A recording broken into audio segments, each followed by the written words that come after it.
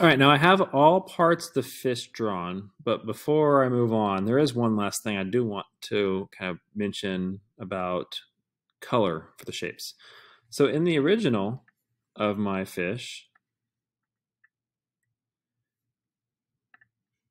this section here has a gradient to it. So it kind of goes from yellow to green to blue.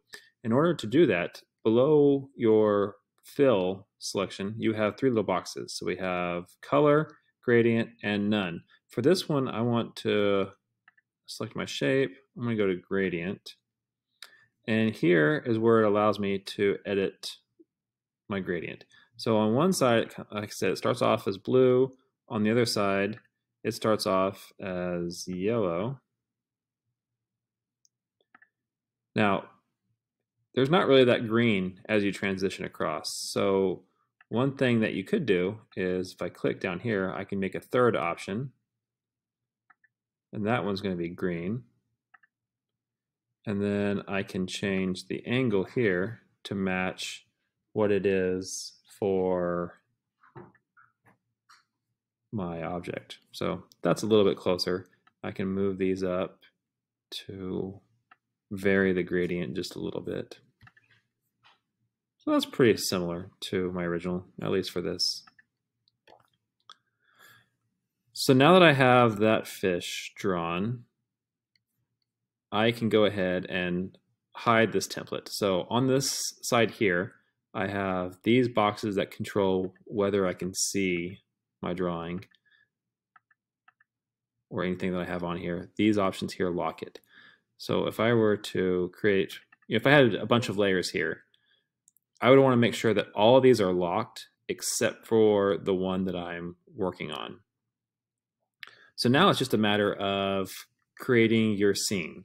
So on this layer, I'm going to call it water, unlock it, lock the bluefish layer.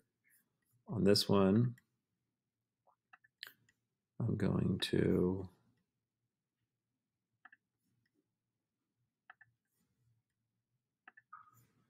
I'm just going to have a solid color from the water.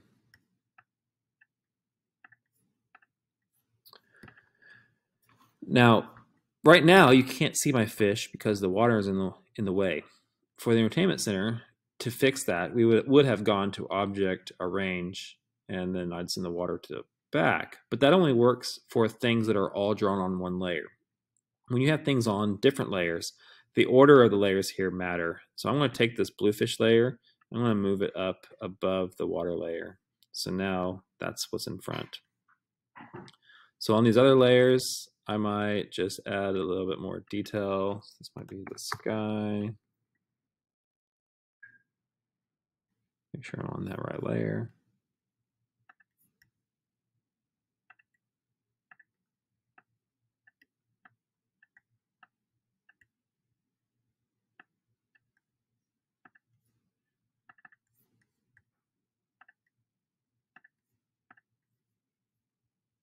Lock that one.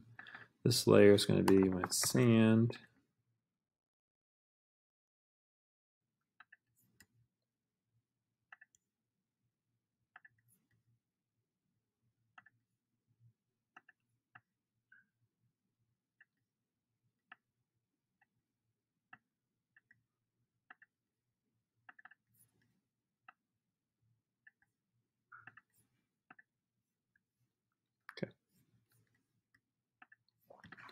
So in the final part of the video, I'll show you how to add even more details and to show how things can have that sense of depth and space by a couple different techniques.